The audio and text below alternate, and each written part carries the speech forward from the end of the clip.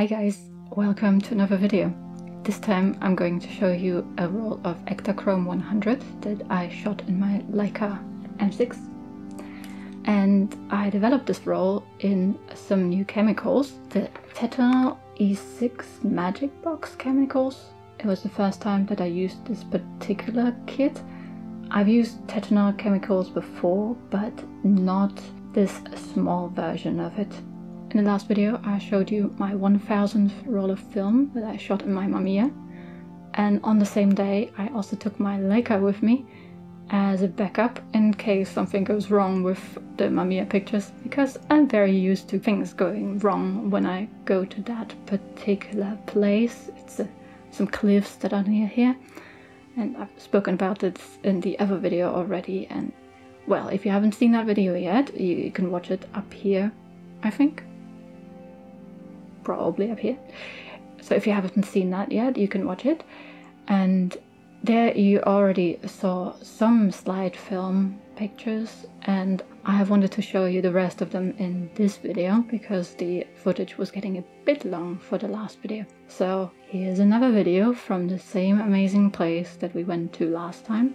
I enjoy that place always a lot when we go there. There's so many nice scenic views and I'm always having lots of fun taking pictures there. So it's also unsurprising that I took two cameras on that particular trip. And then after I finished the roll of Ektachrome, I also shot a roll of HP5 Plus. That's my favorite emulsion, so I always have lots of it at home and take a roll with me whenever I can. But yeah, before I bore you any more with these technical details, let's just get into the point of view footage.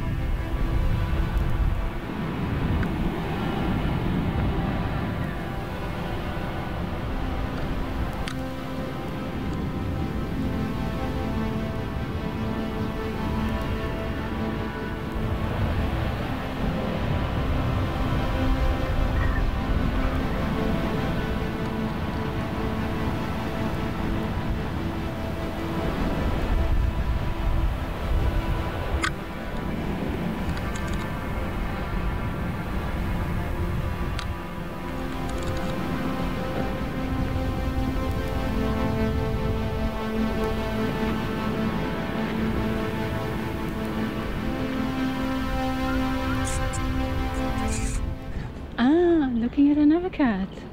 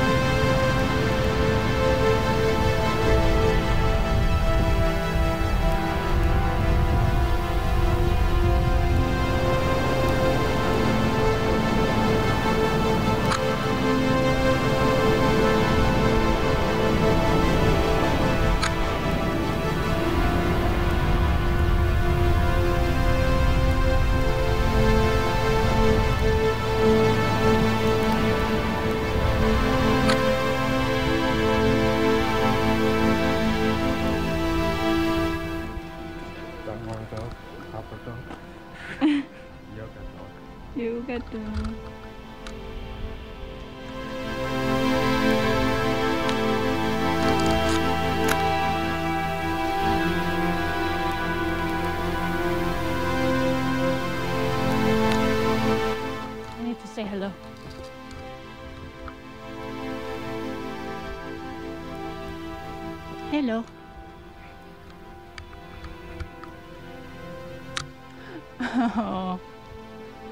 Like this? Oh yes, like this.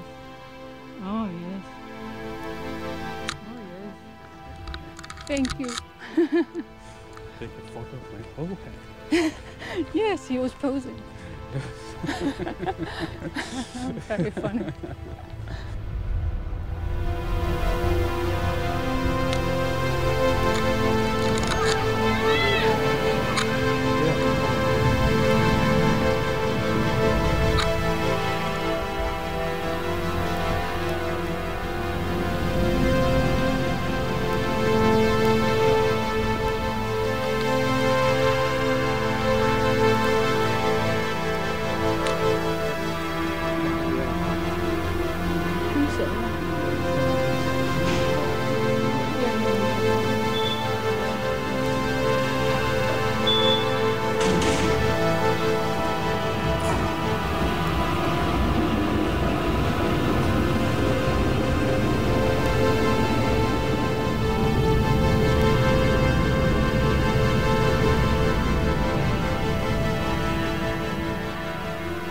So that's it. This was actually the last footage I had from before the pandemic. I was trying to hold onto this footage for a long time now. It's been almost a year. But I've finally run out. It was bound to happen at some point, right? Eh. After this trip, I actually had to self isolate because the first cases of coronavirus appeared in Europe. And yeah, I'm risk group, so I have to be careful. That also meant that I actually needed the gloves that we had at home for developing film for other things, and it postponed developing quite a bit. And then, uh, once we finally got our hands on some more gloves, I couldn't get my hands on E6 chemicals. My regular pack that I normally buy is a one liter kit, and it just wasn't available anymore. So I had to try something new, and this was this one roll E6 kit from Tetenal.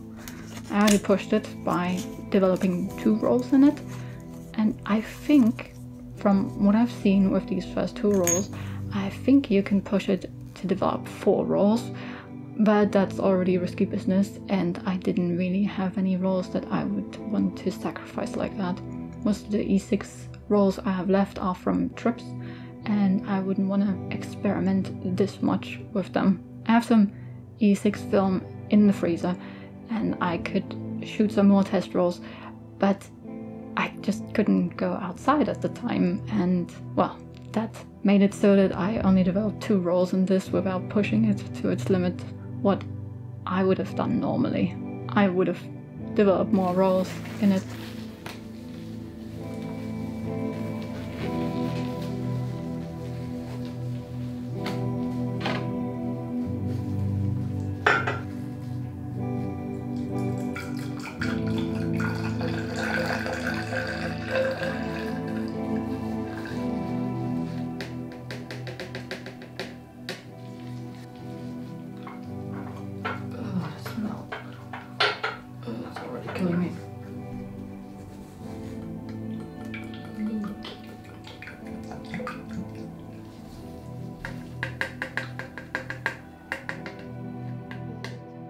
Mixing it was a lot less of a mess than it is normally with E6 chemicals. Color chemicals are very smelly, and also if you spill them, that's gonna make some serious stains. So you gotta be careful with that. But with these little glass bottles that were in this pack, it was actually harder to spill, so that was pretty alright. I thought it was quite good for mixing.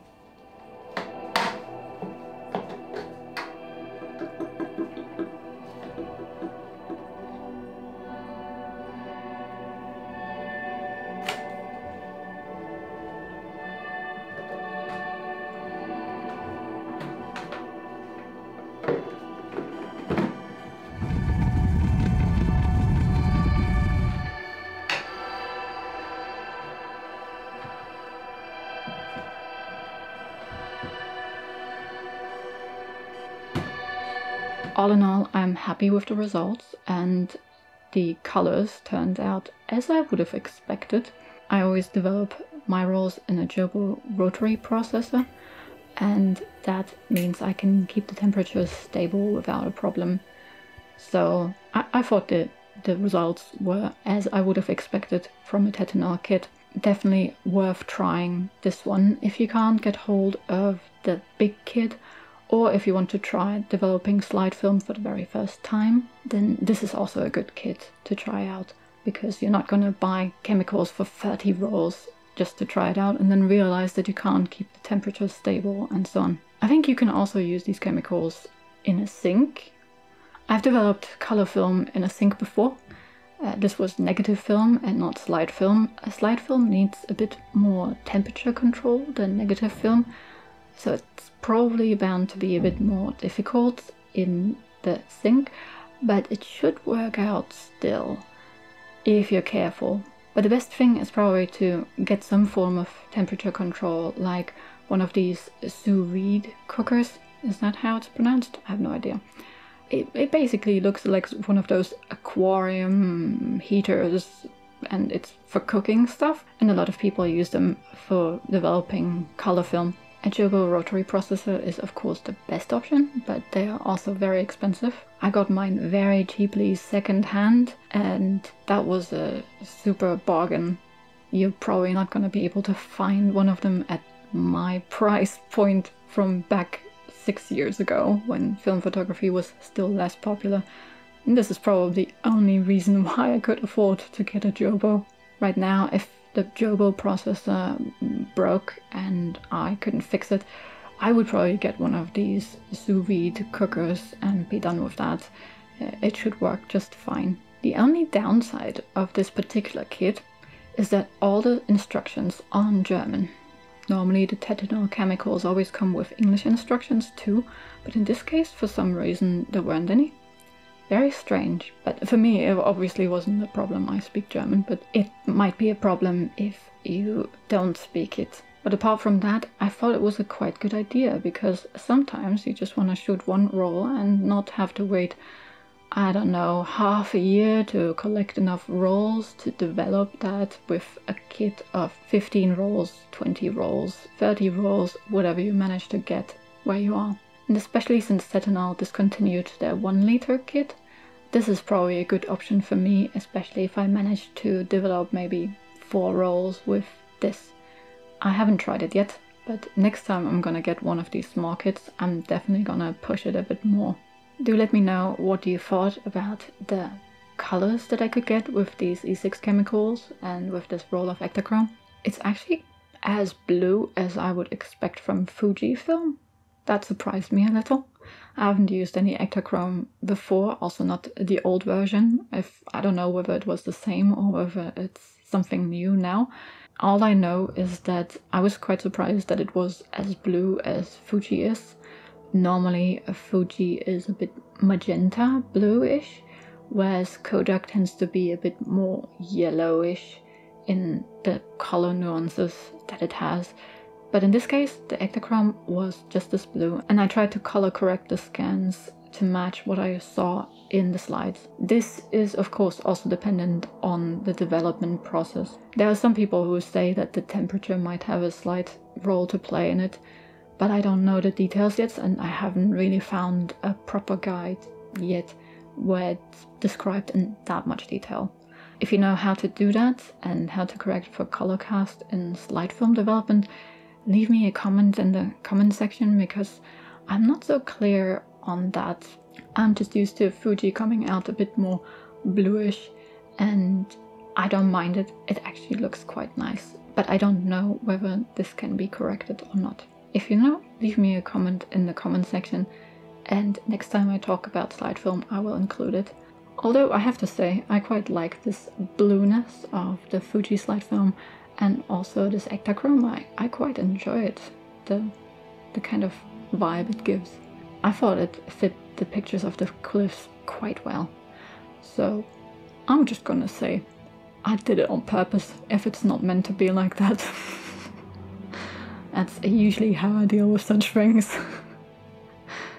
so that was it. my last footage from before the pandemic. What am I gonna do now? But fear not, there will be more point of view videos coming in the future.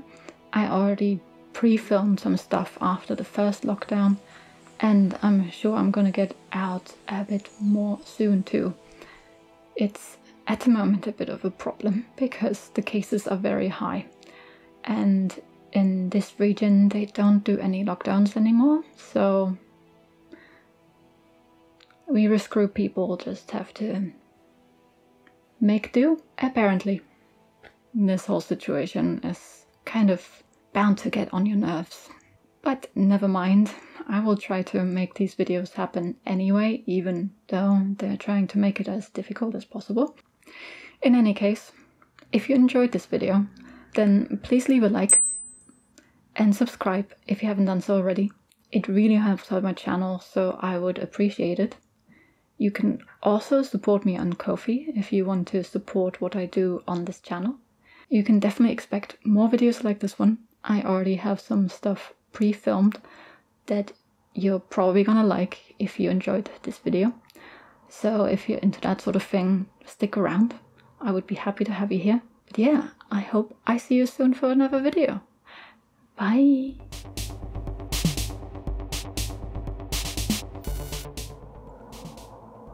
There's a train. I think up there. I think up there. I don't know. Probably up there. And that's my favorite emulsion, so I. Shut up! After this trip, I actually had to self isolate because I. All of this shit happened. Okay.